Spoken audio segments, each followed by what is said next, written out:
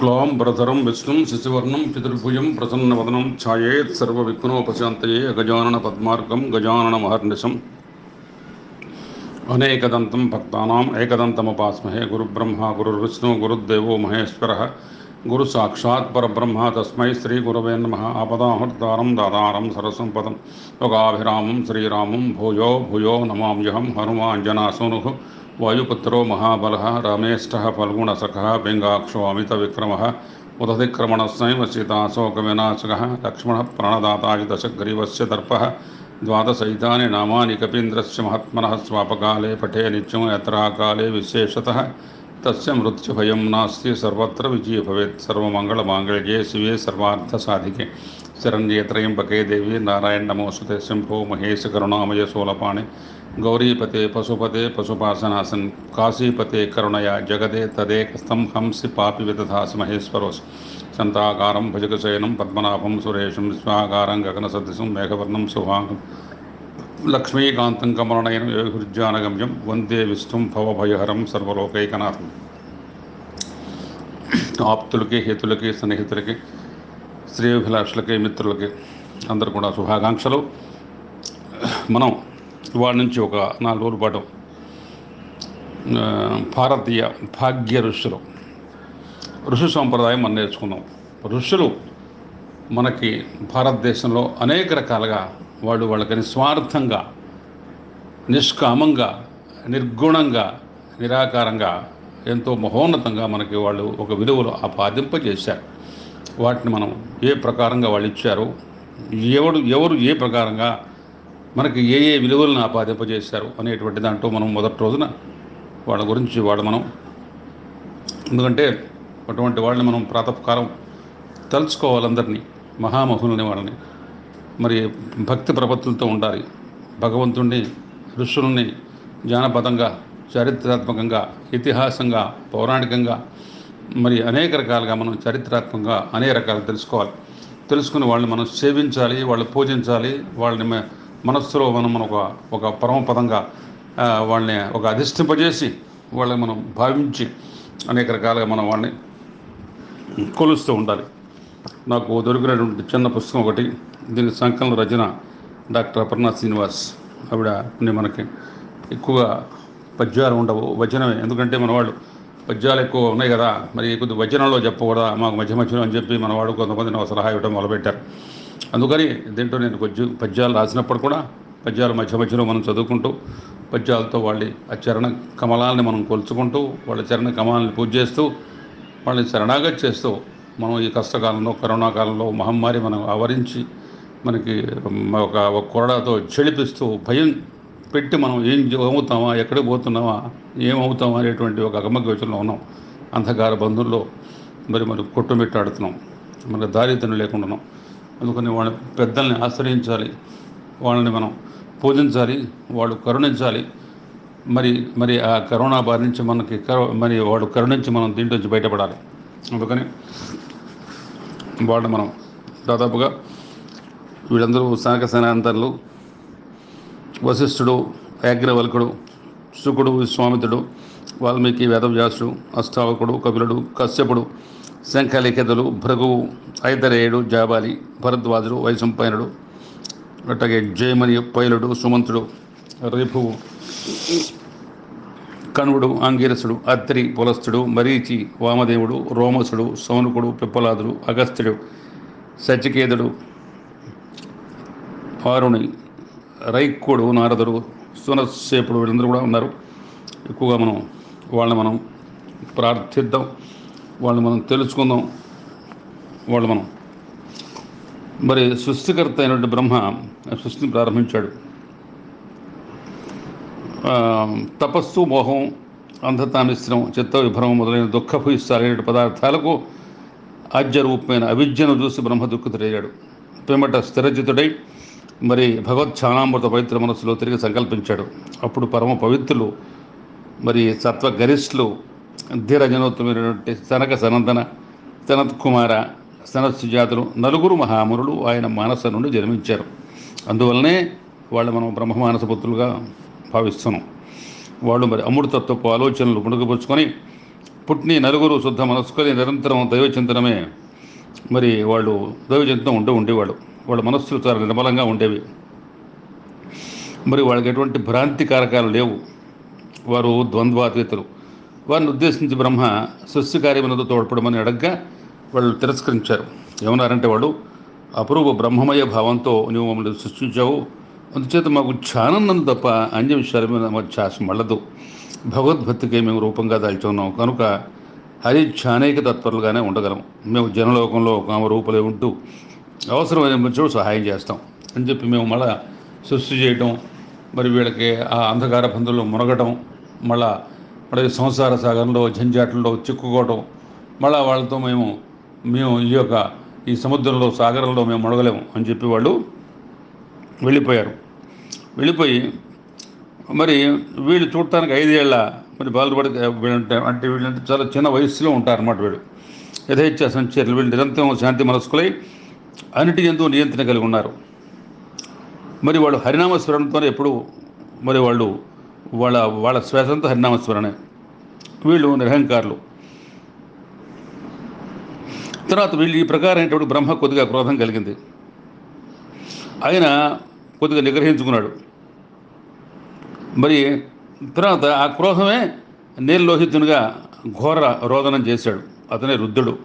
బ్రహ్మారతిపై other చేసిన చూస్తే రుద్రగణాలుగా పది చెందినాయి ఒకసారి ఈ సనక సనందాతులు వీళ్ళు సనక సనందనాథులు నలుగురు వైకుంఠానికి శ్రీమన్నారాయణ దర్శనం వెళ్ళారు. అక్కడ ద్వారపాలకులు ఉన్నారు. వాళ్ళు జయవిధులు వీళ్ళు వాళ్ళని లోపలికి పోనేవాళ్ళ దైవ సందర్శనానికి వీళ్ళు ఎంత అవరోధాలు కల్పిస్తున్నారు? వీళ్ళంతా రాక్షసులు ఉన్నారే? అనుకుని వాళ్ళు వీళ్ళు మరి వెంటనే వీళ్ళు శాపం చేశారు. శాపం చేయమన్నారంటే మీరు క్రమ క్రోధ లోభాది శత్రువులు మన మీరు బాధించారు మన లోపల పోనివ్వలేదు. మూడు జన్మల వరకు రాక్షసులు బొమ్మలు శపించారు ఇందులో వెంటనే లక్ష్మీ సమిత్రి సింహనారాయణుడు వచ్చాడు. వాళ్ళు హరి సందర్శించేసి ఆనంద అంబుధిలో మునిగి భక్తి భరిత హృదలై హరిని శృతిస్తూ ద్వారపాలకులను చూపించడం చాలా ప్రాయస్ ఒక పశ్చాత్తాప ప్రకటించారు. అప్పుడు శ్రీహరి వాళ్ళు ఓడించి నా సంకల్పమే మీ వాక్కు ద్వారా తీర్చుకున్నాను. అది కూడా లోకహితం కోసమే అని చెప్పాడు. దానికి అనుగుణంగా వాళ్ళు జైవిజీలు హిరణ్యాక్షుడు హిరణ్యకశుపులుగా ఒక జన్మలో రావణ కుంభకర్ణులుగా ఇంకో జన్మలో శిశుపాల దంతవక్తులుగా ఇంకో జన్మలో జన్మించారు. వాళ్ళు ఆ తర్వాత శ్రీమన్నారాయణ చేతులు హతమై వాళ్ళ స్వస్థానానికి వాళ్ళు మళ్ళీ చేరగలిగారు. అందుకనే మళ్ళా నారాయణమూర్తి విష్ణుమూర్తి భూమి మీద అవతరింపాల్సి వచ్చింది. మహాత్ముల కోపంలో కూడా ఒక లోకహితం దాగి ఉంటుంది. తర్వాత వీళ్ళు పరమ భాగవతోత్తముడు ప్రజారంజన పాలకుడు జ్ఞాన సంపన్నుడు పృథు చక్రవర్తి దగ్గరికి వెళ్ళారు. వెంటనే ఆయన పృథు చక్రవర్తి వీళ్ళ దగ్గరికి వచ్చి యోగేశ్వరరా నా పూర్వజన్మ సుఖతుంచే మీరు నాకు దర్శన భాగ్యం కలిగింది. సుఖదుఖాలకు మీరు అతీతులు. మిమ్మల్ని నేను కుసిరి అడగలేదు. ఎందుకంటే నయం దయించి మరి దేని వలన ఈ సంసారం మోక్షం సిద్ధిస్తుందో దాన్ని వాడిని దాన్ని చెప్పని అర్థించారు. ప్రార్థించినప్పుడు గల వాళ్ళు చెప్పారు శ్రద్ధ భగవంతుడి గురించి తెలుసుకోవాలనే జిజ్ఞాస భక్తి మార్గం మోక్ష సాధనాలను తెలియజేశారు. అహంకారం అజ్ఞానిక మూలం అని చెప్పారు. అది అడిగితే కానీ ఆత్మ చైతన్యం వెల్లడి కాదు. సుఖ దుఃఖ మిళితమైన విశ్వం స్వప్నం వంటిది. పరమ బ్రహ్మతత్వాన్ని తెలుసుకోవడమే మోక్షం అని ఉపదేశించారు. ఈ బోధ మనకు ఆధ్యాత్మిక తత్వానికి పట్టుకొమ్మైంది ఒకనాడు రుద్రుడు సనత్ కుమార్ని దర్శించి ధ్యానమున దర్శనమైంది ఏది తత్వాలేని సాంఖ్యం అంటే ఏమిటి? విషయాలు చెప్పమడిగితే దానికి సంతోషించి ఈ ప్రకారంగా చెప్పారు. తత్వాలు ఇరవై నాలుగు ఇరవై ఐదు అని కొంతమంది అంటారు. ఎలాగంటే పంచభూతాలు ఐదు వాటి గుణాలు పది ఇంద్రియాలు ఐదు మనస్సు బుద్ధి అహంకారం ప్రకృతి. ఇరవై నాలుగు తత్వాలు కాకుండా దాన్ని మించిన తత్వం ఇంకోటి ఉంది. అదే దేహం అందరి పురుషుని అమృతార్థతత్వం. అది తలమానికం అంతేగాక పరమ యోగమైన సాంఖ్యాన్ని ధ్యానముందు దర్శనమైన మనసు వాళ్ళు చెప్పారనమాట వీళ్ళు మార్కండే మహర్షికి పితృదేవత ప్రభావం పితృదేవత పూజ విశేషాలను కూడా వీళ్ళు సోదాహరణంగా చెప్పారు. మరి సర్వలోక సంచారైన నారదుడు సనత్ కుమార్ని దర్శించి జ్ఞానభోజ చేయమంటూ తను వేదాలు శాస్త్రాలు నృత్య గీతాది విద్యలు మొదలైన వాటిని తెలుసుకున్న ఆత్మవిద్యను నేను నేర్చుకోలేదు. అన్నిట్లో ఏది గొప్పది అడిగేటప్పటికల్లా బ్రహ్మ బ్రహ్మజ్ఞానం లేనిదే ఎన్ని విద్యలైనా వ్యర్థాలే అని ఆత్మజ్ఞానం అన్ని జ్ఞానాలకు పరమావధి అని చెబుతూ నారదునికి భూమా విద్యను ఉపాదించారు ఇది అద్వైతానికి విశిష్టంగా చెప్పబడుతోంది. ఇది ఛాందోగ్యోపనిషత్తు ఎందు ప్ర ప్రస్తావించబడింది. నైమిసారణ్యంలో వ్యాసమహర్షి తన శిష్యులచే వేదాధ్యయనం చేస్తున్న తరుణంలో సనత్ కుమారుడు అక్కడికి వెళ్ళాడు. వాళ్ళు భక్తి ప్రపత్తులతో అర్ఘ్యపాద్యాదులను అర్పించి రుద్రమహత్యాన్ని తెలపని సనత్ కుమార్ని కోరారు. వారికి సోమహత్వం సమస్తత్వం సనత్ కుమారుడు వివరించాడు. దీన్ని సనత్ కుమార సంహిత అనే పేరుతో ప్రసిద్ధంగా అది ఉందన్నమాట. ఇందు బ్రహ్మ విష్ణుత్పత్తి హరి వేయించి సంవాదం సప్త దీప సప్త వర్ణ చరిత్ర శివలింగ పూజ మహాదేవ సంకీర్తనం జ్ఞాన ప్రశంస మోక్ష విచారం వస్తు విచారం అంటూ అవి అనేకం దాంట్లో తెలుపబడింది అనమాట అందుకనే ఆత్మజ్ఞానము సత్యనిత్యమిలలో యాగంబు యోగంబు సత్సాత్మాజ్ఞానము శోధనంబునది సత్సాంగత్య నిక్షత్మాతత్వము నిర్వికారముగా సంధానంబు జీవంబునన్. ఆత్మ నేను జీవితము అత్యంతంబు గోచారము ఆత్మజ్ఞానము చాలా గొప్పది. ఆత్మ నేను అనేటువంటి తెలుసుకోవాలి. ఆత్మ అనేది దానికి చావు లేదు. ఆత్మ సత్సాంగత్యంతో అది ఇంకా పుంఖానుపుంఖంగా ముందుకు వెళ్తూ ఉంటుందన్నమాట. ఆత్మతత్వం నిర్వికారంగా ఉంటుంది.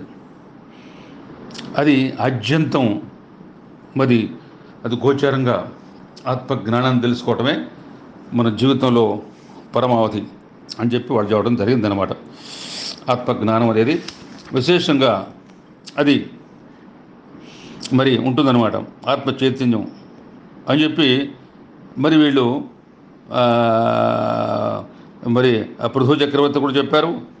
తర్వాత ఈ ప్రకారంగానే వీళ్ళు ఆత్మజ్ఞానం గురించి మరి బ్రహ్మజ్ఞానం ఎంత గొప్పదో నారద మహాత్ముడుగా ఎన్ని శాస్త్రాలు నేర్చుకున్నా ఎన్ని నృత్య గీతాలు నేర్చుకున్నా ఎన్ని వేదాలు నేర్చుకున్నా బ్రహ్మజ్ఞానం లేనిది ఎన్ని విద్యలు వ్యర్థమే.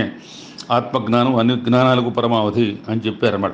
తర్వాత కౌరవ రాజేయుడు ధృతరాష్ట్రుడు విదురు నుండి విదురు నీతిని విన్న తర్వాత మృత్యుతత్వం గురించి తెలుపన్నాడు అప్పుడు విధుడు చెప్పాడు నన్ను నేను మరి శూద్రుని అంతకు మించి నేను చెప్పేది ఏం లేదు.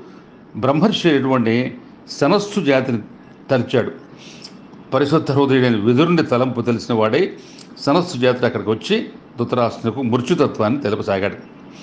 జీవికి మృత్యువు లేనే లేదు. మోహభయాలే మృత్యు రూపాలు. అవి అవన్నీ తెలుసుకున్నారు చావలేదు.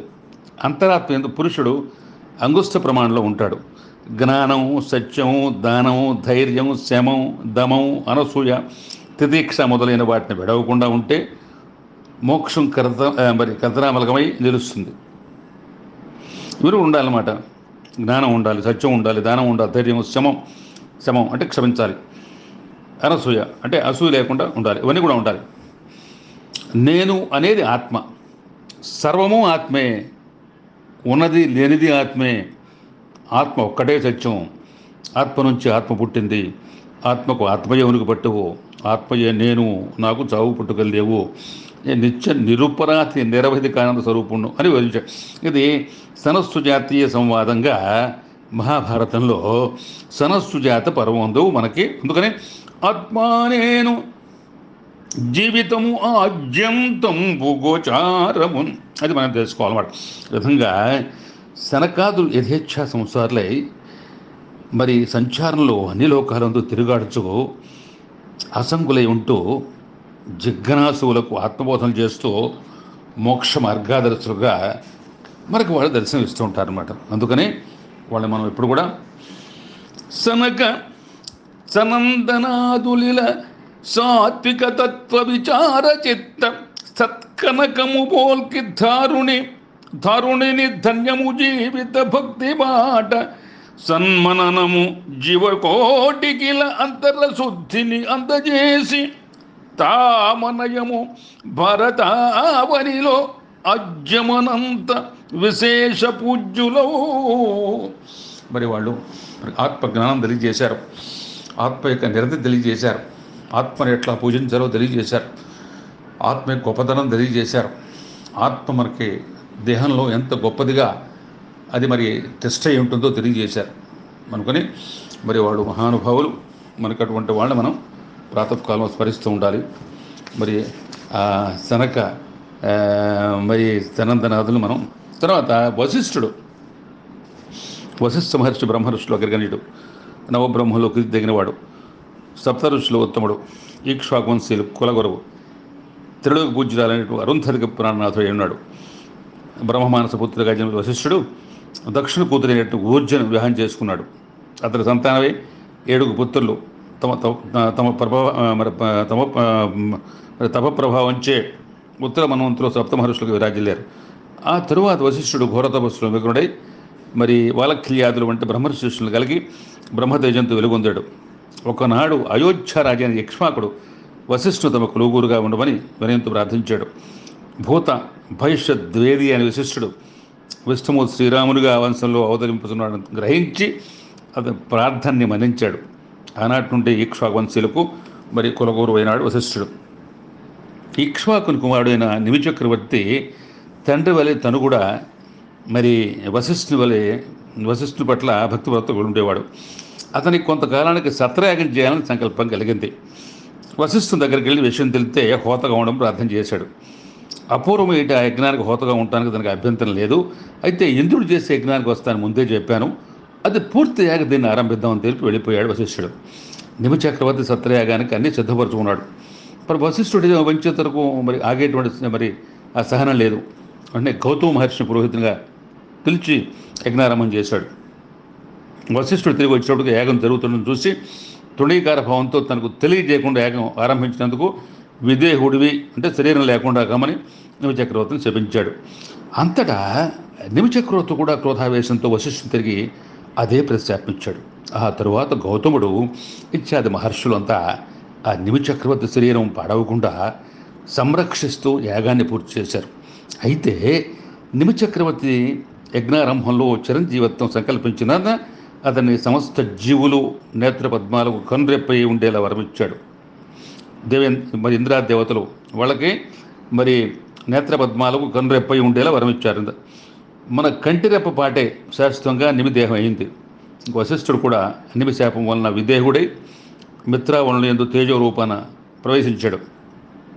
ఊరస్సు కారణంగా మిత్రావళి నుండి బహిర్భేదమైన తేజం నుండి వెలువడి కుంభంలో భద్రపరిచాడు. అగస్త్యునితో పాటు కుంభ సంభవనుగా తిరిగి దేహదాతయ్యాడు. అయితే తన తపశ్శక్తితో నిమి శాపాన్ని ఉపసంహరించగలిగిన దాన్ని తపోధనాన్ని వినియోగించగా స్వేచ్ఛాజనుడై ద్విజనుడై తన ఆత్మశక్తిని లోకానికి చాటి చెప్పాడు పిదప కర్దమ ప్రజాపతి కుమార్తె అయినటువంటి అరుంధతిని మరి వివాహం చేసుకున్నాడు. ఈవిడ ఇసుక రేణువులను కూడా బియ్యం గింజగా బియ్యం గింజలుగా మార్చి అన్నం వండగల మహాత్మురాలు. పరమ పతివ్రత శిరోమణి సాధ్యమణి అరుంధతి పేరు.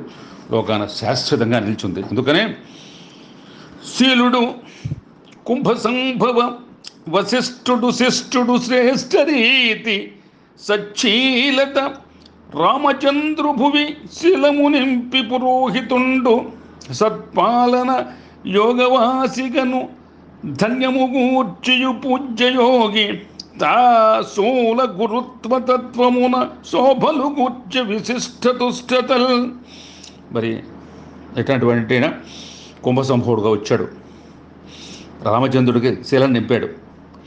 యోగ వాసిష్టాన్ని బోధించాడు పూజ్య గురువుగా తన యొక్క మరి ఆ స్థానాన్ని ఒక విశిష్టని చేకూర్చుకున్నాడు. అక్కడ భగవద్గీత ఒక నారాయణుడు నరుడు చెప్పాడు భారతంలో. ఇక్కడ రామాయణంలో ఒక నరుడు నారాయణుడికి యోగ వాసిష్ట దాన్ని బోధించాడు అనమాట అది విశేషం అనమాట తర్వాత వశిష్ఠుడు మరి జనక మహారాజు ప్రార్థన మేరకు అక్షరం గురించి చేసిన తత్వ బోధ గుహ్యమైంది. ఉండదు అంతేగాక దిలీప చక్రవర్తికి భృగు విద్యాధర వృత్తాంతం సుందోప సుందోపాఖ్యానం మహగస్నాన ఫలాలతో పాటు అష్టాక్షరే మంత్రమహత్వం ఉన్న అనేక మోక్షదాయగా వివరించాడు మరి సత్యవ్రతుడే రాజు అతని త్రిశంకుడు సశరీరంగా మరి స్వర్గానికి వెళ్ళి యాగం చేయమని అడిగితే వశిష్ఠుడు అటువంటిది అది మంచిది కాదు అని చెప్పాడు. అయితే మరి ఏ, సత్యవ్రతునితో విశ్వామిత్రుడు యాగం చేయించాడు. చేసి త్రిశంకు స్వర్గానికి పంపగలిగాడు. కానీ వశిష్ఠుని వాడికి తిరుగులేక అతను స్వర్గానికి ఆయన ఆయన చేర్చలేకపోయాడు. సకల సంపదతో తొలుతుగే మాంధాల చక్రవర్తికి కర్మస్వరూపం బ్రహ్మస్వరూపం భక్తియోగ స్వరూపం వంటివి వశిష్ఠుడు వివరించాడు. కర్మ స్వరూపతత్వములు కమిత బ్రహ్మపురూపమంతయున్ మర్మము మందతాముదము మాన్యము తెల్పియు భక్తియోగ సత్కర్మ వశిష్టమౌనికడు ధన్యతగూర్చి పురోహితుండు తా ధర్మము యక్ష్వంశజు విధానముదీర్చను నిత్య సత్యమున్ మరి కర్మ ఇవన్నీ ఏమిటంటే ఏ ప్రకారంగా కర్మస్వరూపం ఉంటుంది బ్రహ్మస్వరూపం ఉంటుంది భక్తి యొక్క స్వరూపం ఏమిటి అనుకుంటే ఇవన్నీ కూడా దాని మర్మాలు మాంధాతారి ఆ చక్రవర్తులకి ఆయన చెప్పేయడం జరిగిందనమాట మరి ఇవన్నీ కూడా చాలా విశేషమైనటువంటి ఒక ఖ్యాతిని మరి ఆపార్జించుకొని ఎంతో నిర్దుష్టమైనటువంటి ఒక స్థానం కలిగి ఉండి మరి ఈక్ష్మాకు రాజులకి సూర్యవంశ రాజులకి ధర్మాన్ని మరి ఉత్తమ కర్మల యొక్క వారి వాటి యొక్క ఔన్నత్యాన్ని కర్మ స్వరూపాన్ని ఇవన్నీ కూడా వశిష్ఠ మహర్షి అని చెప్పాడనమాట అంటే వశిష్ఠ మహర్షి ఆ స్మృతికర్తల్లో ఒకరు. వశిష్ఠ స్మృతిలో ముప్పై అధ్యాయాలు ఉన్నాయి దీనికి వశిష్ఠ ధర్మసూత్రం అనేటువంటి ఇంకో పేరు కూడా ఉంది. ఋగ్వేదంలో దశమండలాలు సప్తమండలానికి ద్రాష్ట వశిష్ఠుడు. అందుకే ఆ సప్తమండల వాసిష్ఠ మండలం కూడా అంటారనమాట భారతీయ సనాతన సంస్కృతి నిర్మాతల్లో ఒకడైన వశిష్ఠుడు శ్రీ విష్ణావతారమే రామచంద్ర గురువుగా నిలిచి ఆయనకు ఉపదేశిత జ్ఞానమే యోగ వాసిష్టంగా పేరు పొంది తత్వశాస్త్రాల్లో అగ్రస్థానాన్ని పొందింది. యోగ వాసిష్టం ఆరు ప్రకరణాలతో నలభై వేల శ్లోకాలతో కూడింది. ఇది రెండు భాగాలుగా పూర్వార్థం ఉత్తరార్థంగా విభజింపడింది ఆ తత్వబోధంలోని కొంత సారాన్ని గ్రహించే ప్రయత్నం చేద్దాం మనం. అజ్ఞాన దశలో జీవునికి జగత్తుగా భాషించేది. జ్ఞాన దృష్టిలో మిథ్య మాత్రమే. కల్లోని వివిధ దృశ్యాలను మేల్కొన్నవాడు ఏ విధంగా కలగా గుర్తిస్తాడో అలాగే జ్ఞాని కూడా జాగ్రత్త వస్తువులో తాను చూస్తున్న భ్రమగా గుర్తిస్తాడు. జగత్తు జగత్తుగా కనిపించడానికి చిత్తమే కారణం. దీనికి అవిద్య అంటారు. సంస్కారమని వాసనని వివిధ నామాలు అన్నిటికీ సంపూర్ణంగా మరి త్యజించగలిగిన వాడు సాధకుడు.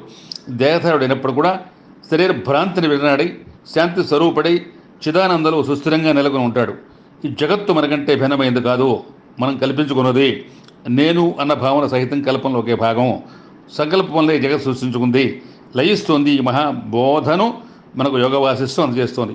ఈ యోగ వాసిష్టమే జ్ఞాన వాసిష్టమని కీర్తి వాసిష్టమని జ్యోతిర్వాసిష్టమని పూజ్య వాసిష్టమని అనేక మరి ఆ, పేర్లతో సిస్టము యోగవాసికను శీల వశిష్ఠుడు రామచంద్రుకున్ తుష్టము బోధ చేసియున దుష్టము కూర్చను యోగవాసిత కూర్చ జీవిత విశేష మహత్తర చిత్త భ్రాంతి నిర్దుష్టము తీర్చి యోగములతో కడు ధన్యత కూర్చను భావమందునన్.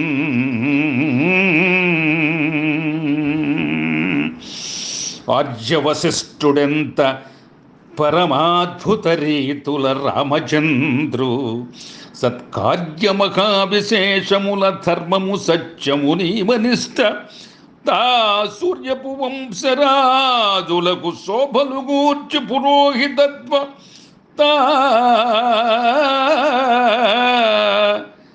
ధైర్యము సూర్యవంశుజల ధీమతి నింపే విశిష్ట రీతిలో.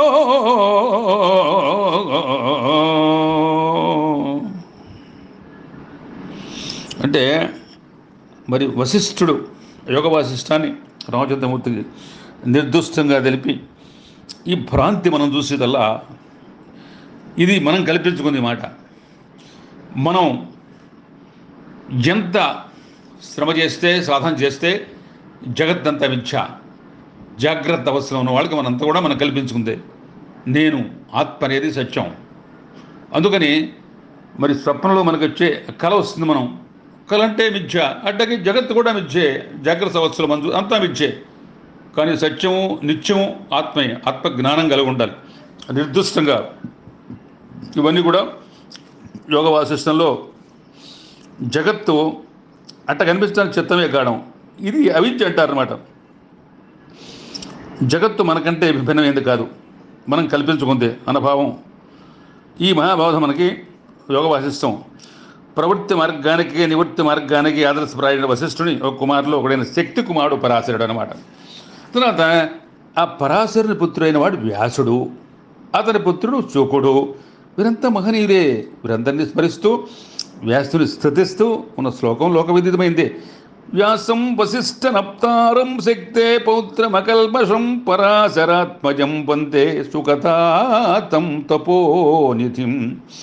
పరమ పావన భారతవర్షంలో బ్రహ్మ తేజోమయమైన రూపంతో నిలిచిన వశిష్ఠుని కీర్తి అచంద్రార్కం చిరస్థాయిగా నిలిచిపోతుంది. అందుకనే మనం తనయ పరాశరుండు ధర ధార్మిక తత్వ విచారచిత్వం సన్మనమున విశ్వశాంతినిడి అంతర శుద్ధ విచిత్త సిద్ధ తాతనయుడు వ్యాసమౌని ముదత్తత్వము తీర్చి మఖోన్నతంబు సద్గుణగణ భారతంబునకు భరతంబున అకుంఠు అకుంఠిత రీతి అమోఘ భాగవతనమల గ్రంథముల్ రచన తన్మయ రూపము గూర్చ జాతికి వశిష్ఠ మహర్షి కుమారుడైనటువంటి పరాశరుడు పరమ ధార్మిక సాత్విక ధర్మచిత్తంతో నిత్యవర్తంతో సత్యవర్తంతో సత్య చిత్తంతో ఆయన ముందుకు సాగిపోతుంటో జరిగిందనమాట ఆ పరాశరుడు మరి సత్యోతరుడు మరి పుట్టినటువంటి వాడే వేదవ్యాసుడు. వేదవ్యాసుడు సాక్షాత్తు ఆ, విష్ణు అంశ సంభూతుడు. అయిన మహోన్నతంగా జాతికి ఆది గురువుగా గురు పౌర్ణమి. మనం వాళ్ళు కూడా పౌర్ణమి మనం ఆషాఢ పౌర్ణమి అని గురు పౌర్ణమి. చాలా మంచిది. గురు మనం గురు మనం ఏంటి మా అయిన మనకి జాతికి అనేక రకాలుగా వేద వేదాలని విభజించాడు. భారతం ఉద్గ్రంథాన్ని పంచవేదంగా మనకు అందించాడు. భాగవతాన్ని ఆయన మరి దాన్ని రచించాడు. ఉపనిషత్తులకి భాష్యం చేయడం జరిగింది. అంతకుమించి మనకి అసహాయస పురాణాలు కూడా ఆయన నాంది. పరికి అనేక రకాలుగా మరి భారతదేశానికి భారత ప్రజలకి హిందూ మతానికి సనాతన ధర్మానికి అజ్యం అజ్యంతం వాళ్ళు చేసినటువంటి ఆ కృషి కాస్త కూస్త కాదనమాట విశేషంగా వాళ్ళు మనకి ఎన్నో రకాలుగా మన వాళ్ళు ఆదుకుని మరి చక్కగా మనకెంతో ఎంతో కూడా మరి వాళ్ళు ఈ మనకి ముందుకు పోవడానికి మనకి ఎన్నో వాళ్ళు కారణభూతులై మనకి వాళ్ళు నభూతో నభేష్యగా మనకి జీవితాన్ని తీర్చిదిద్ది అనేక రకాలుగా మరి వాళ్ళకు ముందుకు చేసినటువంటి మహానుభావులు అనమాట వాళ్ళు. వాళ్ళని మనం మనం ప్రాతకాలంలో వ్యాసం వశిష్ఠ నప్తారం శక్తే వ్యక్తే పౌత్రం అకల్మషం పరాశరాత్మజం వందే సుఖతాతం తపోనిధిం పరాశర ఆత్మజుడు కుమారుడు శుకుడు ఇను కుమారుడు వ్యాసిష్ఠుడు మన పవన భారత మరి పరమ పావన భారతవర్షంలో బ్రహ్మ తేజోమయమైనటువంటి రూపంతో నిలిచిన వశిష్ఠుని కీర్తి ఆచంద్రార్కం చిరస్థాయిగా నిలిచిపోతుందన్నమాట. తర్వాత మనం ఈయన యజ్ఞవల్కుడు వేద ఋషుల్లో మరి ప్రముఖమైన స్థానాన్ని పొందినవాడు యజ్ఞవల్కుడు మహాయోగి బ్రహ్మవేత్త మంత్రధరాష్ట ఆయన యజ్ఞవల్కుని స్మరించినంతనే ఈ ప్రపంచమంతా ఒక మహాయజ్ఞంగా గోచరిస్తుంది. ఆయన వాక్కు వేదవాక్కు అతని గూఢమైన ఆధ్యాత్మిక రహస్యాలు అవలీలగా చెప్పగల పురాగ్నుడు యజ్ఞవల్కుడు. ఆయన గంగా తీరంలో మరి చమత్కారపురంలో సకల సద్గుణ సంపన్నుడైనటువంటి యజ్ఞవల్కుడు అనేటువంటి బ్రాహ్మణుడి కుమారుడే యజ్ఞవల్కుడు. అంటే ఆయనేమో యజ్ఞవల్కుడు ఈయనేమో యాజ్ఞవల్కుడు. యజ్ఞవల్కుడు యజ్ఞం వేదాలను సలక్షణంగా వచించేవాడు. కనుక యజ్ఞవల్కుడు అని నిరంతరం అన్న ప్రదాత అవడం చేత మరి అబ్బా, మరి వాజ్యసని అని బ్రహ్మం వేదం సృష్టిలకు బోధించే వృత్తి గలవాడు గనక బ్రహ్మరాధుడని వివిధ నామాలు కలిగి అతని భార్య ఆవిడ సునంద. వారికి కార్తీక శుద్ధ ద్వాదశి భానువారం. అది వారం మరి ధనుర్లగ్నంలో సాక్షాత్తు ఓ బ్రహ్మదేవుడే జన్మించాడన్నట్టుగా ఒక కుమారుడు కలిగాడు. అతనికి యజ్ఞవల్కుడు. ఆయన యజ్ఞవల్కుడు ఈయనేమో యజ్ఞవల్క్యుడు అని నామకరణం చేశారు. ఆయన మరి తండ్రిని అనుసరించి మరి వాజసని బ్రహ్మరాధుడని దేవి వరప్రసాదుడు గుడిచే దేవరాతుడి అనేటువంటి వివిధ నామాలు కూడా ఇతను పొందాడు. ఐదో ఏట ఆయనకి అక్షరాభ్యాసం ఎనిమిదో ఏట ఉపనయనం జరిగిన పెంబట విద్య నేర్చుకునేందుకు బయలుదేరి వెళ్ళాడు. ఋగ్వేదాన్ని ఆయన పాష్కలుడు వద్ద సామవేదాన్ని మరి జమిని వద్ద ఆరుని వద్ద అధర్వణ వేదాన్ని నేర్చుకున్నాడు. తరువాత వైశంపాయని వద్దకు పంపించారు. వేదవ్యాన మరి వేదవ్యాసం నియోగించబడిన యజుర్వేదాన్ని శిష్యులకు చెప్పే వైశంపాయనుడు. ఈ కుర్రవాళ్ళలో చాలా ఉత్తమ లక్షణాలు ఉన్నాయి మంచి చురుకుతనం ఉంది. మంచి వర్చస్సు ఉంది. అంతకుముందు ఏకసంధాగ్రాహి అంతకుముందు చురుకుతనం ఉంది మనుషులు. చూడటానికి మహత్తరంగా భాషిస్తున్నాడు. తేజస్సు వర్ధిల్తున్నాడు చూడంగానే ఒక బ్రహ్మవర్చస్తో మనకి చూసే వాళ్ళకి కనువిందుగా ఆకర్షణీయంగా ఉండేటప్పుడు గల ఉత్తమ లక్షణాలు చాలా ఉన్నాయి. సరే చాలా బాగుందని చెప్పి వైశంపాయనుడు ఇతన్ని శిష్యుడుగా అంగీకరించాడు. గురు శుశ్రూషలో అంకిత భావంతో కలిగినటువంటి అగ్నవల్కుడు గురు హృదయాన్ని చూరగొని చాలా తక్కువ కాలంలోనే అనంత విద్యా వైభవాన్ని పొందగలిగాడు. బ్రహ్మ తేజోదీప్తితో వెలుగొందేటువంటి యాజ్ఞవల్కంలో విధివశాత్తు కొంతకాలానికి కొంత కొంత అహంకారం వచ్చింది. అహంకారం వచ్చింది. అహంకారం చాలా అది మన పతనానికి కారణమవుతుంది.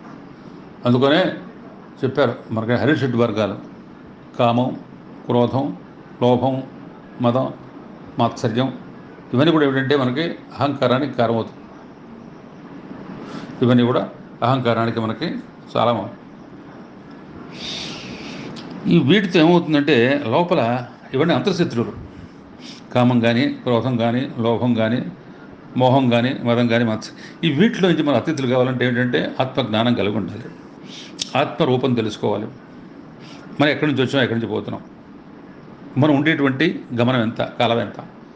దీంట్లో ఆత్మజ్ఞానం ఎట్లా అవుతుంది? ఆత్మ దర్శనం ఎట్లా అవుతుంది? ఆత్మను ఎట్లా తెలుసుకుంటాం ఆత్మ యొక్క మరి సిద్ధరూపాన్ని బృహద్రూపాన్ని సూక్ష్మరూపాన్ని స్థూల రూపాన్ని రెండు కూడా మనం గ్రహించాలి ఆత్మ ఆత్మ ఆత్మ ఏంటి?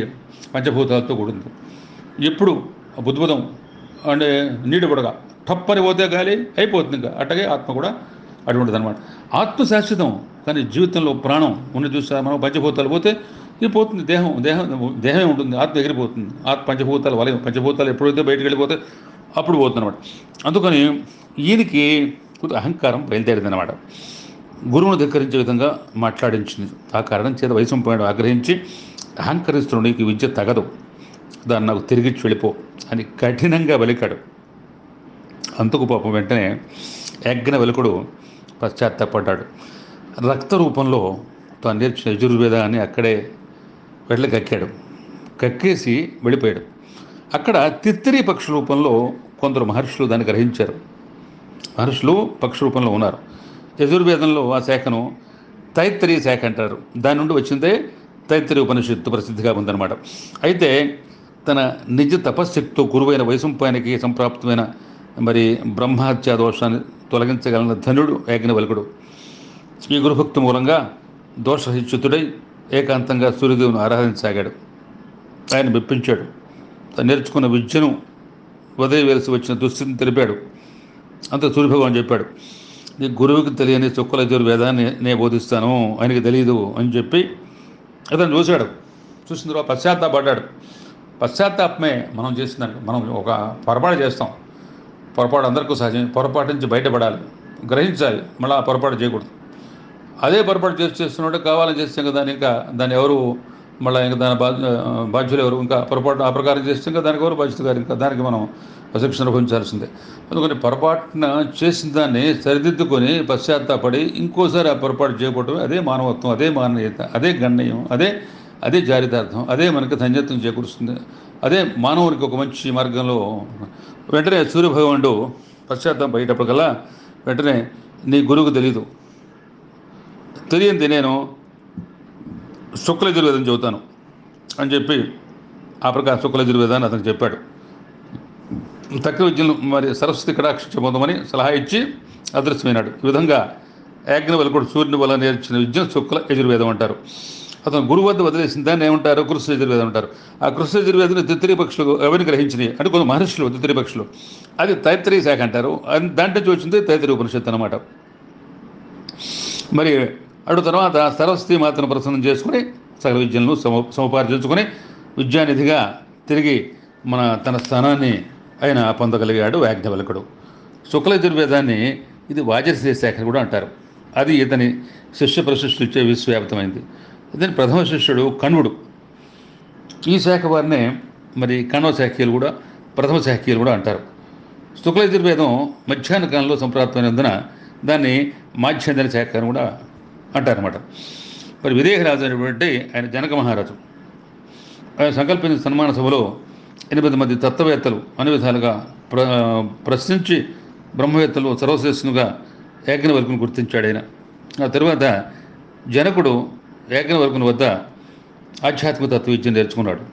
ఇందు మరి బృహదారణ్య కోపనిషత్తులోని మొదటి బ్రాహ్మణుడు అయినటువంటి షడాచార్య బ్రాహ్మణం ఆపైన కూర్చ బ్రాహ్మణం జ్యోతి బ్రాహ్మణం మునుగును వివరించబడ్డాయి అనమాట మనం రుద్రాభిషేకం చేస్తాం పఠించబడే రుద్రాస్తాధ్యాయ శుక్లజుర్వేదంలో అంతే అంతేకాకుండా శతపథ బ్రాహ్మణం యాజ్ఞవల్కుని మంత్రభక్తికి ప్రబల దృశ్యం.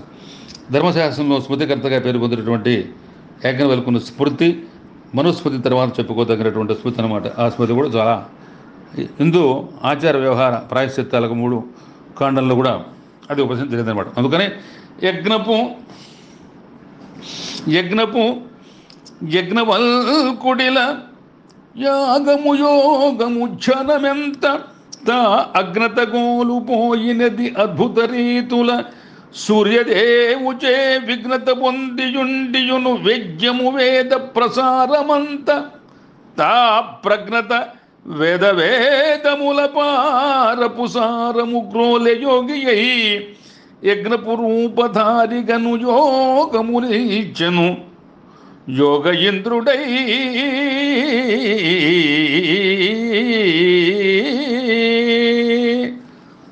ఆయన విశేషంగా ఆయన కోల్పోయింది.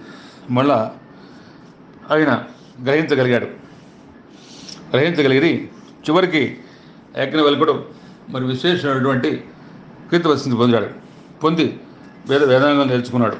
నేర్చుకోకుండా తన స్థానాన్ని బృహత్తరంగా మరి పొందుపరచగలిగాడు. తర్వాత ఆయన శిష్యుడు అయినటువంటి ప్రథమ శిష్యుడు అయినటువంటి కనువుడు మరి ఆయన మరి విశేష ఖ్యాతి గ్రహించాడు. కనువుడు ఆశ్రమం బృహత్తరం కనుడు ఆశ్రమం లాంటిది ఇంకా ఆశ్రమం ఎక్కడ లేదు. గురుకులంలో అది ఇంకా స్వర్గలోకంలో ఉంటుందన్నమాట. అక్కడ విశేషం ఆ అటువంటి ఆశ్రమం ఎక్కడ చూడము. అటువంటి ఆశ్రమం అక్కడ. అక్కడ ఏంటి? అక్కడ సంగీత ధ్వనులు వినిపిస్తూ ఉంటాయి. ఏనుగులు సింహాలు ఒక చోట నివసిస్తూ ఉంటాయి. సకల మునిగణం అక్కడ ఉంటూ ఉంటుంటారు. అక్కడ వేదం ఘోషిస్తూ ఉంటుంది. అగ్నిహోత్రం రాత్రిమూడు కూడా అక్కడ అక్కడ విరాజిస్తూ ఉంటుంది. అక్కడ మరి ఆ కనువ ఆశ్రమంలో బృహత్తరంగా మనకి అది అటువంటి ఆశ్రమంలో మరి ఎవరు కూడా ఇటువంటి దాన్ని మనం కని విరగకుండా అటువంటి అది సాక్షాత్ స్వర్గం అంటే సౌఖ్యం కాదు అక్కడ. అంత కట్టుదిట్టంగా అటువంటి శిష్యులు అంత ఓ ప్రశిక్షణగా అక్కడ ఎంతో మార్గబద్ధంగా అక్కడ సంగీతం వేదం నాదం యజ్ఞం హోమం ఈ పక్కన మరి ఆ శిష్యులు ఆ వేదఘోష మరి ఈ పక్కన చుట్టుకల అన్ని జీవరాశులు అన్ని జంతువులు కలిసిమెలిసి ఆడుకుంటూ అన్ని కలిసిమెలిసి అక్కడ ఉండటంలో అక్కడ మరి అక్కడ జాతికంతా శాంతి సామరస్యం శాంతి దాంతులు ప్రశాంతత విశ్వశాంతి అక్కడ అంతా అక్కడే ఉన్నట్టుగా అంతా ప్రకారంగా కణ్వాశ్రమం మరి అక్కడ గోచరిస్తుంది. అటువంటి కణుడు యాజ్ఞవల్కుడు యొక్క ప్రథమ శిష్యుడిగా ఆయన యాజ్ఞవల్కుడు యోగాన్ని గురించి యోగాంగాలు ఉపాంగాలు మొదలైన వాటిని గురించి కూడా బృహదారణ్య ఉపనిషత్తులో పునరధ్యాయాలుగా వివరించినట్లుగా ఇది అతను బ్రహ్మవాదిని గారికితో మా గారికతో చేసే సంభాషణ సర్వం తెలుస్తోంది. దీనినే యోగ యాజ్ఞవల్కమనం అంటారు. కర్మజ్ఞానాల సమిళితమే మోక్షప్రాప్తికి దారితీయగలదని తెలిపే భావాలు ఎదుగలవు ఇది మొత్తం పన్నెండు అధ్యాయాలుగా కలిపి ఉంది యాజ్ఞవల్క మహర్షికి ఇద్దరు భార్యలు ఉన్నారు మైత్రేయి కాచ్యాయని బ్రహ్మజ్ఞానిగా ఆయన గడిపినటువంటి గార్హస్ జీవితంలో బ్రహ్మవాదినిగా మైత్రేయ భర్తకు సహకరించి సహధర్మచరణకు ఉపచరించింది. ఆత్మతత్వంలో ఉన్న అమృతత్వాన్ని భరత్ ద్వారా అర్థం చేసుకుంది. స్వాత్మానంద లహరిలో లీనమై మైత్రి ధన్యురాలు వారి ఇరువురి నడుమ జరగని ఈ ఆసక్తికర సంభాషణ అంతా బృహదారణ్య ఉపనిషత్తులో మరి నాలుగో అధ్యాయంలో చతుర్థ బ్రాహ్మణులు దీనికే మైత్రేయ బ్రాహ్మణుడు అంటారు. యజ్ఞవల్కుని యజ్ఞ స్వరూపాన్ని ఆత్మశక్తిని నిగూఢ రహస్యాల్ని కరతనామాలను గమనించేటువంటి కలిగిన ధీశక్తి గురించి మహర్షులందరూ కూడా మాఘశుద్ధ పౌర్ణం నాడు అందరూ యోగేంద్రుడని అతని పట్టాభిషక్తిని గావించారు ఇటువంటి అరుదైన గౌరవం ఒక యజ్ఞవల్కం దక్కింది. సాక్షాత్ యజ్ఞ స్వరూపాయ యజ్ఞ మంగళ మహత్వం. అందుకని యజ్ఞ స్వరూపంగా ఉండి యజ్ఞ రూపంగా ఉండి మరి యజ్ఞమా అయిన యజ్ఞమా అన్నట్టుగా యజ్ఞవల్కుడు మంగళ మహత్తులాగా యోగేంద్రుడుగా మరి పట్టాభిషక్తి పట్టాభిషేకం అందుకున్నాడంటే ఇంకా అంతకన్నా ఇంకా వేరే విశేషం లేదు. అది చాలా బృహత్తరం మహత్తరం ఇంకా మహదానందంగా ఆయన భావించాడు తర్వాత మనం మనం ఇప్పుడు చెప్పుకున్నాం కదా ఇప్పుడు చెప్పుకున్నాం కదా మనం యజ్ఞ గురించి చెప్పుకున్నాము ఇలా వశిష్ఠ గురించి చెప్పుకున్నాము దాని తర్వాత మొదట్లో మనం మరి సనక సనాలను చెప్పుకున్నాము తర్వాత మనం శుకుడు గురించి చెప్పుకుందాం. మహాత్ముడు మహానుభావుడు సుఖ మహర్షి సుఖ మహర్షి మించినటువంటి ఆయన అసలు ఆత్మతత్వం అంటే ఆత్మజ్ఞానం అంటే అది. ఆత్మ తప్పితే దేహం గురించి ఆయనకి వాసన లేదు. దేహం మీద ఏముంది ఏం తెలియదు దేహంలో అంగాలు ఏమిటో తెలియదు ఒక ఆత్మ ఒకటే. ఆత్మని పరమాత్మలో చేర్చాలి. ఆత్మ మనకిచ్చాడు. ఆత్మతో మనం మనం ఆత్మని ఘోషిస్తూ ఆత్మ జ్ఞానాన్ని అందిపుచ్చుకొని ఆత్మ నిరంతరం కూడా ఆత్మకి ఒక పునీతత్వాన్ని పూజ్యత్వాన్ని మనం చేకూర్చి ఆత్మతో మనకిచ్చినటువంటి జీవితాన్ని ధనం చేసుకుని పరమాత్మ లీనమయ్యి ఈ సంసారము ఈ బంధము ఈ పుత్రులు ఈ జంజాటము తర్వాతేమో ఈ గృహస్థ జీవితము మళ్ళా ఇంకా పుత్రులను కంటాం. వాళ్ళతో మళ్ళా రకరకాలుగా కర్తవ్యాలు రకరకాలుగా బంధాలు ఇతర బాంధవ్యాలు దాంట్లో మరి అంత మునగానం దీంతో ఇటువంటివి కాకుండా మహత్తరంగా ఆ శుకుడు పరమ పావనమైన బ్రహ్మర్షుల్లో శుకుడు అగ్రగణ్యుడు. ఈయన వేద వేదవ్యాసము నిందిన తపఫలమైన శుకుడు యోగేశ్వరుడు తత్వజ్ఞుడు. అవధూతమూర్తి. శుకుని పోలిన వారు మూలోకాల్లో ఇంకోళ్ళు ఎవరు లేరనమాట పూర్వం వేదవ్యాసుడు మేరుపర్వతం యొక్క అగ్రభాగాన గల కర్ణికారం అనేటి వనం ఉంది అక్కడ.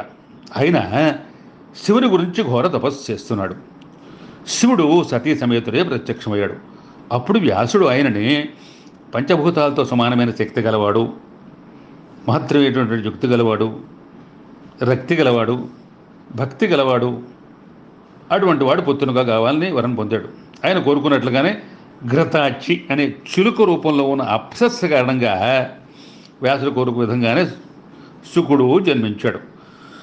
శుకుడు జన్మించగానే ఆకాశంగా సాకార రూపంలో వచ్చి మంగళ స్నానం చేయించింది. అంటే గంగే వచ్చింది కిందకి పొంగి పొరలి శుకుడితో స్నానం చేయించు మంగళ స్నానం అంతకన్నా కావాల్సింది దివ్య దుందుభులు ప్రోగాయి అప్పుడు దేవతలు గానం చేశారు. అప్సరసలు నాట్యం చేశారు. అట్టగే నాట్యమే కాదు అక్కడ మహత్తరంగా అందరూ కూడా వచ్చి మరి గానం చేసుకుని పుష్పవరం గురించారు ఆకాశం నుండి కృష్ణాజనం దండం వచ్చాయి. జంతువులు పక్షులు సకలం అక్కడ చేరి శుకుడు అంటే మరి చిలక నుంచి వచ్చాడు కదా కృష్ణా చిలక అందుకని జంతువులు అవి కూడా వచ్చి మరి ఇతను మరి వాళ్ళ మరి జాతికి చెందినట్టుగా వాడు ఎవరి భావన వాళ్ళది అట్లా అదేంటి? ఆత్మజ్ఞానంతో పరమ పవిత్రం పొంది అందుకని దేవతలంతా వచ్చారు. మరి ఆయన బ్రహ్మజ్ఞానం కలిగి ఉన్నాడు. అందరూ అందుకని అక్కడ అప్సరస్ వాళ్ళందరూ వచ్చేసేసి వాళ్ళు నాట్యం చేశారు. గంగ అంటే ఈ పరమ పవిత్రం అందుకని గంగ వచ్చేసి పరమ మంగళంగా మరి స్నానం చేయించింది. అట్టగే మరి వీళ్ళంతా దివి దుందువులు పొగని మరి అట్టగే దేవతలు గానం చేస్తూ ఉన్నారనమాట మరి అక్కడ వచ్చేసి శుకుడు జన్మదినోత్సవం చేసినట్లుగా భారతంలో మన శాంతి పర్వంలో మరి దేవి భారతంలో కూడా చెప్పారన్నమాట. శుకుడు జన్మం గురించి ఇంకో కథ కూడా ఉంది. ఏమిటంటే జన్మత శుకుడు పరమహంసకు చెందినవాడు. తన భూమి జన్మించడానికి ఇష్టం లేక పదిహేను సంవత్సరాలు నిరీక్షించాడు. లోపలే బయటకు రావడం ఇష్టం లేదు. ఎందుకంటే ఈ అసలు ఈ ప్రపంచం రావడం నీకు అతనికి ఇష్టం లేదు. ప్రపంచం అంతా వీరు అందరూ దీనికి రాగానే ఇది ఒక మాయ. ఈ మాయలో చిక్కుంటే బయటికి పోలేం మనం. అదే మిథ్య. మనం చూసేదంతా మనం అదే నిజం అనుకుంటాం. అదే శాస్త్రం అనుకుంటాం. అదే మనతో వస్తుంది అనుకుంటాం. ఈ జగ దీంట్లో మనం ఇంకా ఉంటే బయటికి పోలేము ఈ బంధంలో కూడా చిక్కుపోతాం ఈ బంధంలో మనం శాశ్వత బంధంలో మనం ఆ కోరలో నుంచి బయటికి పోలేం అనేటువంటి ఆ తత్వంతో ఆయన ఏమిటంటే ఇంకా దీంట్లో నుంచి బయటికి పోవడానికి ఇష్టం లేకుండా మరి బయటికి రాలా. మరి శుకుడు తండ్రి వ్యాసుడు మహామాయ జగజ్జన్ని అపత్తి ప్రార్థించాడు. మహామాయ శుకుడిని మాయిచే ఒక్క నిమిషం పాటు కప్పి ఉంచి కరణాన శుకుడు మళ్ళా వెంటనే మహామాయి ద్వారా జన్మించాడు. పుడత పుడతనే పదహారు సంవత్సరాల బాడుగా జన్మించాడు. దిగంబరుడుగా ఏమి పైన బట్టలు లేవు దిగంబరుడుగా జ్ఞానంతో వెలిగిపోతున్నాడు. నడక ప్రారంభించాడు. శుకుడు వెంట తండ్రి వ్యాసుడు కుమారా కుమారా కుమారా కుమారా అంటూ పెరుగుతారు. తండ్రి ఏడుస్తున్నాడు. సమాధానంగా బ్రహ్మేక్షుడు శుకుడు ఓంకారనాథం నిర్మించాడు. తండ్రి వల్ల శుకుడికి జన్మించగానే మరి తండ్రిలాగానే వేదాలు వచ్చేసినాయి. తండ్రి మొత్తం బృహస్పతి వద్దకు వెళ్ళాడు. అక్కడ ధర్మశాస్త్రాలు నేర్చుకున్నాడు. ఆపై తండ్రి వద్దకు వచ్చి సాంఖ్య యోగశాస్త్రాలు అభ్యసించాడు. తర్వాత పిమ్మట మోక్ష మార్గం తెలుసుకోమని ఆయన జనక మహారాజు దగ్గర పంపించాడు తండ్రి. జనక మహారాజు మహత్తరం. ఆయనకు తెలియని శాస్త్రాలు లేవు. అనేక రకాలుగా సభంతా కూడా ఈ మొత్తం వేదఘోషలతో ఈ చర్చలతో మీమాంసలతో జనక మహారాజు సభ ఎప్పుడు కూడా నిత్యం కడకళ్ళు ఆడిపోతుంటుంది ఆ ప్రకారంగా ఆయన ఒక్కడు ఒక కారణ జన్మలు వాళ్ళ జీవితంలో జన్మే ఆ ప్రకారంగా వాళ్ళు. మరి వాళ్ళని ఎంత మహారాజులైనా ఎంత విశిష్టమైనటువంటి రాజ్యం పరిపాలిస్తున్నా కానీ వాళ్ళు పూర్వజన్మ సుకృతంతో పూర్వజన్మ వాసంతో వాళ్ళ ప్రకారంగా భాషలతో ఉంటారన్నమాట. అయితే ఏం చెప్పాడంటే ఈయన మహా వ్యాసుడు జనక మహారాజు వెళ్ళి కానీ నువ్వు నువ్వు అక్కడ ఆయన నడిచి వెళ్ళమని చెప్పాడు. తండ్రి ఆజ్ఞ మేరకు పాతకం ఉండే మేరు అనేక పర్వతాలు ఉన్నాయి. అనేక నదులు వస్తున్నాయి తీర్థాలు వస్తున్నాయి చెట్లు వస్తున్నాయి పొట్లు వస్తున్నాయి. అవన్నీ దాటుకుంటూ దాటుకుంటూ దాటుకుంటూ దాటుకుంటూ పోయాడు. మిథిలా నగరానికి వచ్చాడు. వచ్చేసి జనక మహారాజు చూశాడు. జనకుడు జ్ఞాన విజ్ఞానాలు అనే గుణాలు నువ్వు మోక్షబోధుడివి. అయితే మనస్సులో నీకు సంశయం భయం చపలత ఈ మూడు ఆశ్రయం ఆశ్రయాలుగా ఉండటం చేత నువ్వు నీకు నిజత్వం నీకు నువ్వు నువ్వు తెలుసుకోబోతున్నావు. నువ్వు ముక్త పురుషుడివి అని బోధించాడు. ఆ శుకుడు సంశయరాహిత్యాన్ని పొంది ఆత్మలోకాన్ని కలిగి వాయువేగంతో తండ్రి వంతకు ఆనందంగా తిరిగి వచ్చాడు. ఆ తర్వాత కాలవ్యవ నిరూపణం చతుర్మిక సంవత్సర పరిమితి చతుర్యుగ ధర్మాలు దానగుణ ప్రాసెస్ అవన్నీ కూడా తండ్రి తండ్రి వేదవ్యాసుడు సాక్షాంతం విష్ణువంశ ఆయనకు తెలియని విద్యలో ఉన్నది. సర్వం ఏంటంటే గురుముఖంగా నేర్చుకోవాలి కావడం వల్ల గురువు దగ్గరికి పంపించి రకరకాలుగా ఆయన మరి ఆయనకి శుశ్రూష చేసుకో ఆ విద్యను గురుముఖంగా అభ్యసించాలి కావడం గురువు దగ్గర పంపించడం జరిగిందనమాట సుఖనికి దేహధ్యాస ఉండేది కాదు. అన్ని ఆశ్రమాలకు అతీతంగా అవధూత వలె ఆయన వెళ్తూ ఉన్నాడు అనమాట అట్లాగే మరి తర్వాత అన్ని ఆశ్ర- అతీతంగా అవధూత వెళ్తుండేవాడు ఆయన ఎక్కడ ఆవు పాలు పెతికేంత సమయం కూడా నిలవక బ్రహ్మలో ఉంటే నిరంతరం ఆత్మజ్ఞానం తప్పితే వేరే జ్ఞానం కాదు ఆయనకి. మరి ఒకసారి అర్జునుడు మనవుడు ఏంటి పరీక్షతో మరి ఆయనకు తక్షకుడు ఆయనకు శాపం ఇచ్చాడు. తక్షక విశాఖ నుంచి ఏడు రోజులు మరణం అని చెప్పి ఆ బ్రాహ్మణ శాపం ఉంది. అన్నిటికీ పరిత్యజించి ఏదో మోక్షస్థితి ఉండగా అతని భాగ్యవశాన శుకుడు అక్కడికి వచ్చాడు. భక్తి మూలంగా మోక్షం ఉండే మార్గాన్ని తన తండ్రి ద్వారా తెలుసుకున్న భాగవతాన్ని వారం రోజులు బోధించాడు. దానిచ్చే పరీక్షిత్తు బ్రహ్మపదాన్ని పొందే భాగ్యాన్ని కలిగించాడు. ఆ పరీక్షిత్ రూపేణ మనకు అపరూపమైన భాగతం గ్రంథం మనకి లభ్యమైంది. వ్యాసుని పుత్రుడు వ్యాసుని పుత్రుడై సుకుడు వారధి దాటు విశేషయోగముల్ వాసి పరీక్షరాజునకు భాగవతంబును బోధకేసి తా వాసి దిగంబురుండనగ బ్రహ్మపదంబును చేరి ఆత్మ సందేశపు తపసోత్తమున్ తపసోద్దమన తేజము గుర్చ విశేషతత్వము ఏ పశము వెంటలేకయును బ్రహ్మపుజ్ఞానిగ యోగశీలుడై. అంటే ఈయన బ్రహ్మపదాన్ని చేరి ఆత్మ సందేశపు తాపసోత్తము తేజంతో విశేష తత్వంతో ఏ పాశం లేకుండా వెంట బ్రహ్మజ్ఞానిగా యోగశీలుడి భాషించి మరి దిగంబరుడుగా ఆయనకి దేహవాసన దేహ చింతన అసలు ఈ లోకంలో ఎవరు తిరుగుతున్నారు ఎవరున్నారనేటువంటి ఆ చింతన లేదనమాట నిర్వికారం నిరాకారం నిర్గుణం మా అట్టగే నిర్మోహం నిష్కామం నిరహంకారం మరి నిర్మదం. నిర్మోహం. వీడితో ఆయన భాషిస్తూ ఉండేవాడు. శుకుడు. ఆయన పరీక్షిత్ మహారాజుకు వారం రోజుల పాటు బోధ చేసిందే భాగవతం. ఆ భాగవతం మరి మనకి ఇవాళ. మరి అయిన ద్వారా మనకి సంక్రమించింది. మరి రాసింది వ్యాసుడు వినిపించింది శుకుడు. ఆ భాగవత రసామృతాన్ని పోతన మహామధ్యుడు మరి బ- బొమ్మెర పోతన. ఆయన సాక్షాత్తు మరి దేవాన సముద్రం.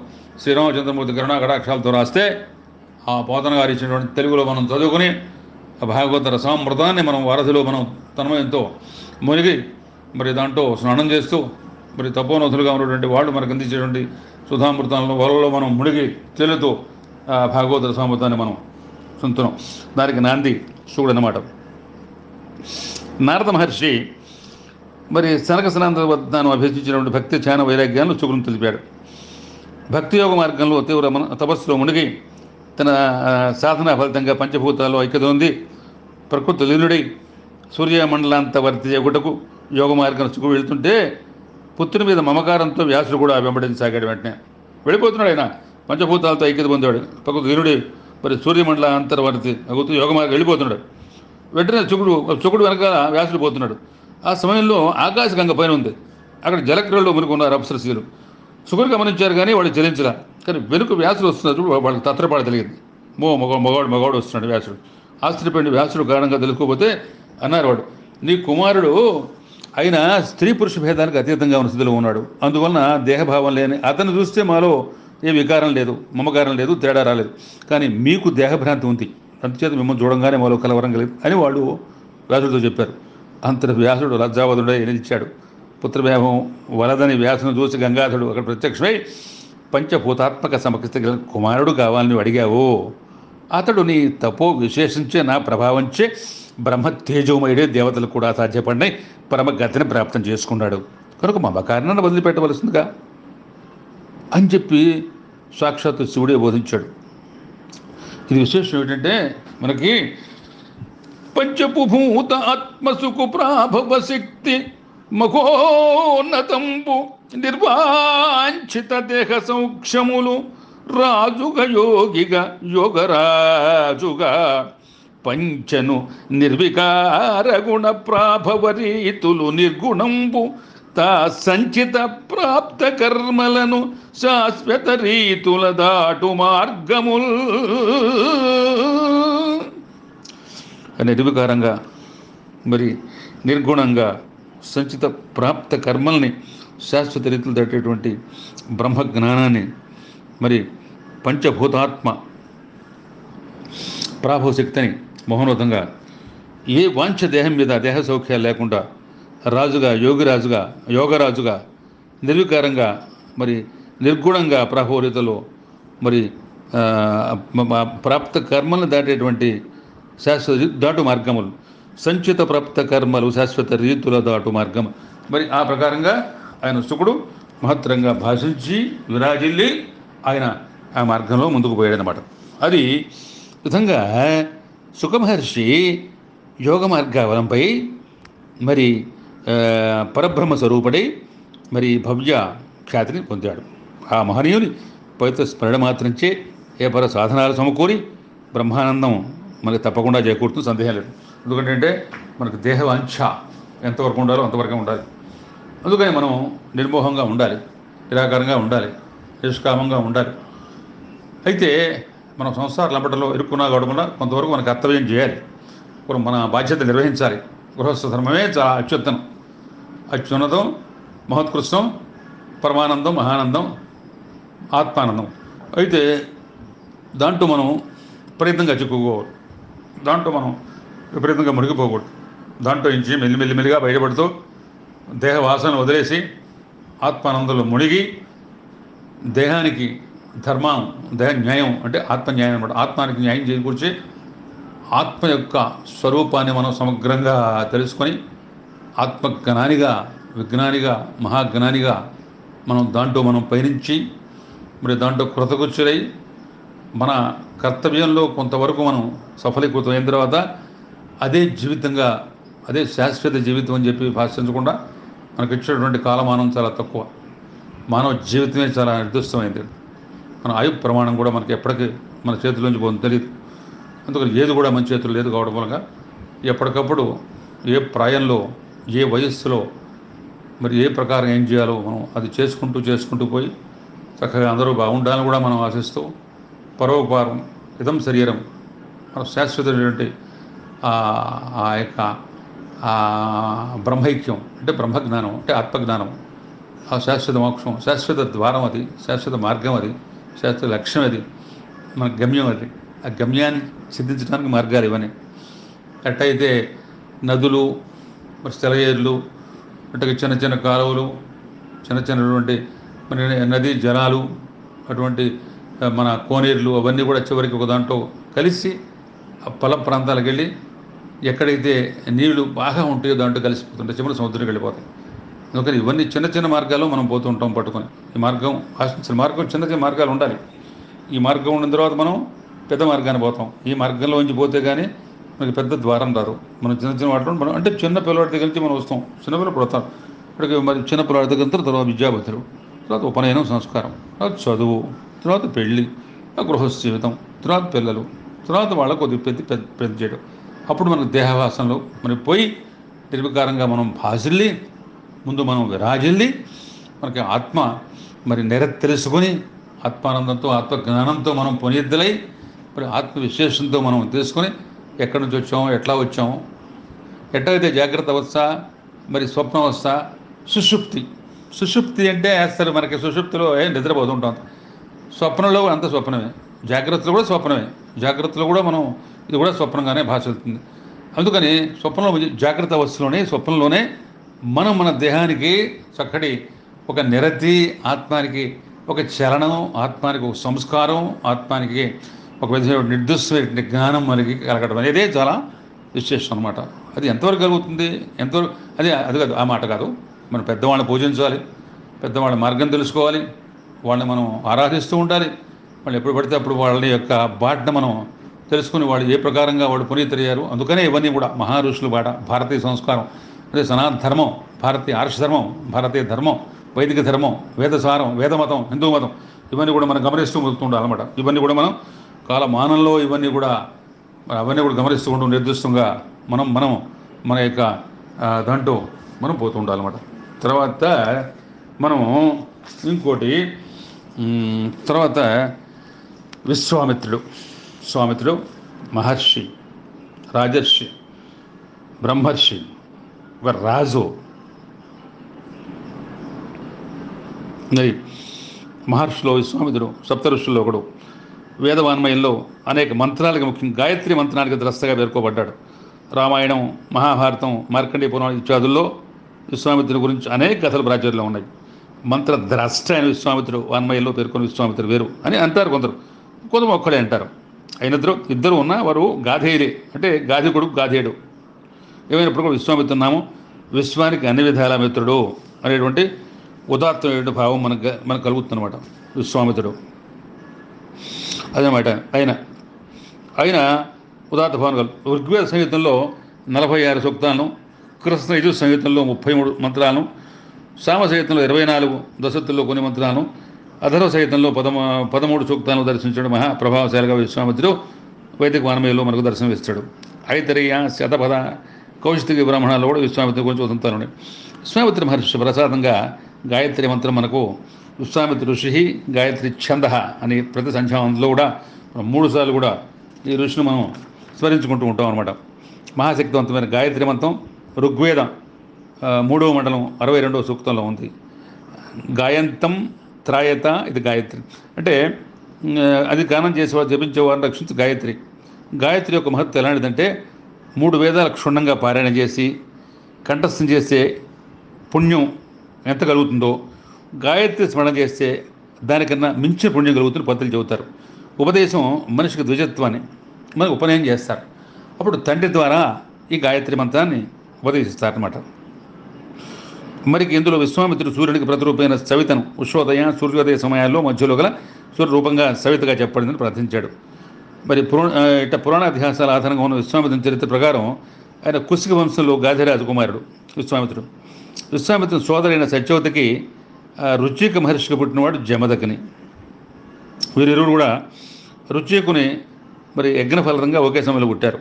అయితే యజ్ఞ ప్రసాద విభజనలో సత్యేతకు ఒక భాగం ఇచ్చి మరొక భాగం సత్యోతి తల్లికి ఇవ్వగా దైవయోగం మూలంగా ప్రసాద భాగాలు మరి తారుమాడినాయి ఆ తపస్సు రుచికుని జమదగ్ని కుమారునిగా జన్మించాడు. ఆ జమ ఆ జమదగ్ని తన పరశురాముడు ఆయన క్షాత్ర శక్తిని పొంది ఉన్నాడు అలాగే విశ్వామిత్రుడు జన్మత రాజు అయినప్పుడు కూడా ప్రసాదం మరి అది కొద్దిగా తారుమారైంది కదా? తారుమారైంది కదా?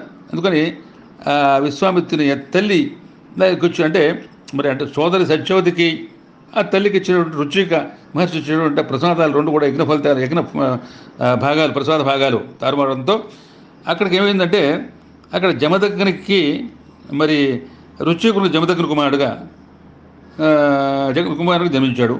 జమదగ్నికి తన పరశురాములకు శాత శక్తి వచ్చింది.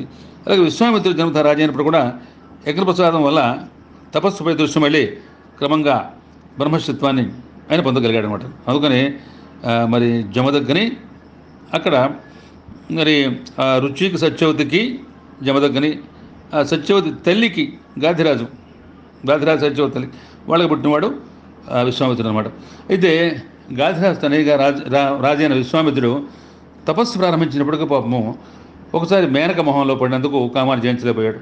తపశ్శక్తి నచ్చబోయాడు ఇంకోసారి రంభను మరి శపించడం వల్ల క్రోధాన్ని అరగట్లేకపోయాడు మూడోసారి వశిష్ఠంతో స్పర్ధ వల్ల త్రిశంకోనే మహారాజుని బొందితో స్వర్గాన్ని పంపిస్తానని చెప్పి తన త- తపశ్శక్తిని ధరవసి వృధా చేశాడు. ఇది అహంకారాన్ని మరి జయించినందువల్లే పొరపాటు జరిగింది. మూడు సార్లు తపస్సుకి వృధా అయిన తన లోపాలను గుర్తించి కామ క్రోధ లోభ మోహ మద మాత్సర్యాల్ని రిషడ్వారం చివరికి జయించి ఆయన బ్రహ్మర్షి అనమాట ఇది ఆయన విశిష్టత. బ్రహ్మర్షి అయిన వారికి ఎటువంటి వికారాలు ఎటువంటి ఆకారాలు ఎటువంటి రుచులు ఉండవు కదా? అదే చెప్పాడు. విశ్వపుమిత్రుండు విశ్వామిత్రుండుగా విశ్వంపులో ఇలా విశ్వఘనుడు. విశ్వమిత్రుండు వశిష్ఠ వేద వేద్య ఋషులు శ్రీరామ గురువులు శ్రేయఘనులు. రాజర్షి మాకర్షి బ్రహ్మర్షి వేదర్షి విశ్వమిత్రుండు భువి వేదవేద్య గాయత్రి మంత్రంబు. గాయత్రి మంతంబు కామ్య విశ్వపుమిత్ర ఋషిపుంగవుడిలా రుద్రరీతి పట్టు పట్టియు గట్టి గజేరి దెట్ట విశ్వామిత్ర ధిరవరుడు విశ్వ విశ్వామిత్ర అవని విశ్వ వినుత అరయ కారణ జన్మంబు అవని వరము. విశ్వ విశ్వంభరా విశ్వ విశ్వమిత్ర విశ్వజనులకు విశ్వాస విమలధనుడు ఆయన ఒక పట్టుదల. అది పట్టారు విశ్వానికి మిత్రుడైన వశిష్ఠుడు విశ్వామిత్రుడు కూడా మరి రాములు వారి గురువులు. రాజర్షి మహర్షి బ్రహ్మర్షి వేదర్షి స్వామిత్రుడు. గాయత్రి మంత్రానికి ఆయన స్రష్ట మరి ఋషిపంగవుడు రుద్రుడు అంటే రుద్రులాగా రౌద్రుడు. పట్టుబట్టి వెడవకుండా గట్టు చేరి దిట్టగా విశ్వామిత్రుడు చేరవరుడు మరి విశ్వామిత్రుడు మరి అవనికి విశ్వానికే మిత్రుడు కరణజన్ముడు. అది అవని వరం. విశ్వ విశ్వంభర విశ్వామిత్ర విశ్వజనులకు విశ్వాసపాత్రుడు విమల ధరుడుగా మనం ఆయన శ్లాఘించాలన్నమాట. ఇకపోతే ఆయన రామాయణంలో మనకి బాలకాండలో మూడుసారిగా దర్శనమిస్తాడు విశ్వామిత్రుడు. బ్రహ్మర్షి అయిన విశ్వామిత్రుడు కౌశిక తీరంలో ఉన్న సిద్ధాశ్రమంలో చేసే యాగరక్షణార్థం రామలక్ష్మణతో పంపని చెప్పడానికి దశరథ దగ్గర వెళ్తాడు. వాళ్ళు చిన్నవాళ్ళు అని చెప్పి దశరథుడు కొద్దిగా తడపడాయిస్తాడు. మహాత్ముడు సత్య పరాక్రముడైన రామునికి సంగతి నాకే కాదు. ఈ సభలోని విశిష్టాది మహర్షి అందరికీ తెలుసు. కనుక సందేహపడవద్దు సాక్షాత్ పరబ్రహ్మేశ్వరుని ధ్వని ఆ మాటలో తెలియజేశాడు విశ్వామిత్రుడు. ఒక రకంగా రామునికి మార్గదర్శి గురువులుగా నిలిచిన వారు వశిష్ఠ విశ్వామిత్రులు వెళ్ళిద్దరనమాట చిన్న వయసులోనే యోగ వాసిస్తాన్ని బోధించి మనో నిగ్రహం కలిగేలా చేసిన వశిష్ఠుడైతే దుర్గమమైన అరణ్య మార్గంలో నడిపించి జీవితంలో ధైర్యంగా ప్రతి ఎలా ఎదుర్కోవాలో ప్రయోగపూర్వకంగా నేర్పించినవాడు విశ్వామిత్రుడు. అంతేకాదు ఆ సమయంలో కౌసల్యా సుప్రజారామ పూర్వా సంఖ్యా ప్రవర్తతే. ఉత్తిష్టనరసోల కర్తవ్యం దైవమాన్హికం.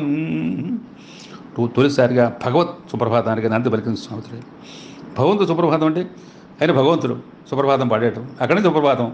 అన్ని గుళ్ళలో కూడా సుప్రభాతాలు. అన్ని దేవుడికి సుప్రభాతాలు.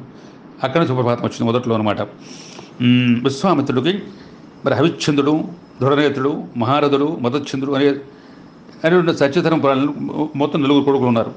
వీరిలో మదశ్చంద్రుడు ఋగ్వేదంలో అనేక మంత్రాలు ద్రష్టగా నిలిచాడు ఋగ్వేదంలో ప్రథమ మండలంలో మొదటి పది సూక్తాన్ని దర్శించాడు. ఒకసారి అంబరీష్ చేసే యాగానికి యజ్ఞ పశువుకు బదులుగా అజ్జీగర్తుడే పేద బ్రాహ్మణ కుమారుడు పాపం ఆయన. ఆయన సునస్సేపుడు తన తండ్రి అంగీకారంతో యజ్ఞ పశువుగా స్తంభాన్ని కట్టాడు. అది చూసి సరిపడిన విశ్వామిత్రుడు అతనికి రెండు మంత్రాలు ఉపదేశించాడు. దాన్ని చెప్పించమన్నాడు మంత్ర ప్రభావానికి ఇంద్రాదేవత ప్రత్యక్షమయ్యారు. ఆ బాలుని బంధుమిత్వం చేశారు. విధంగా తన మంత్రోపదేశంతో నరవధ గాలేయకుండా అడ్డుకున్నాడు విశ్వామిత్రుడు. దేవతల చేత తిరిగి ఇవ్వబడినవాడు కనుక సునస్సేపుడికి దేవరాతుడు అనేటువంటి పేరు కూడా ఏర్పడింది. తర్వాత తునస్సేవుడు కూడా గొప్ప మంత్రదర్శ అయ్యాడు. ఋగ్వేదంలో దేవరాతుడు పేరుతో కొన్ని మంత్రాలు ఉన్నాయి మరి కుసిక వంశానికి చెందినవాడు కనుక విశ్వామిత్రుడికి కౌశికుడు అనే పేరు కూడా ఉంది. ఇక్షాకు వంశుడు హరిశ్చంద్రుని సత్య నిరతిని కీర్తిని లోకానికి తెలియపరిచింది విశ్వామిత్రుడే.